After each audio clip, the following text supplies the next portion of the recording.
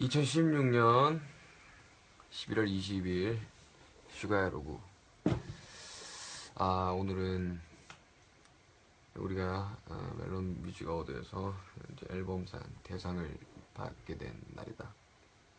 뭐 정확하게 따지자면 뭐 하루 전 2016년 11월 19일 날 받은 거지.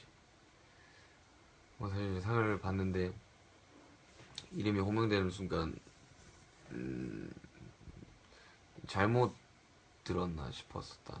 그러다 보니까 굉장히 좀 벙쪄 있기는 했는데 돌이켜서 수상 소감을 하고 또 이제 내려와서 상을 보면서 생각을 해보니 아, 참이 상의 무게와 또 이 상을 받기 위해 노력했을 아미 여러분들이 너무너무 생각이 나서 어, 솔직히 너무 감동이었고 꿈만 같은 음, 일인 것 같다.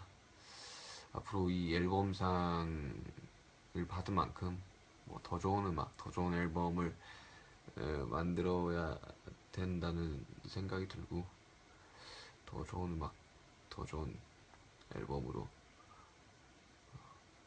더 좋은 상을 받기를 어, 기도해야겠다. 2016년 11월 20일 새벽 1시 9분 밀슈가 에로그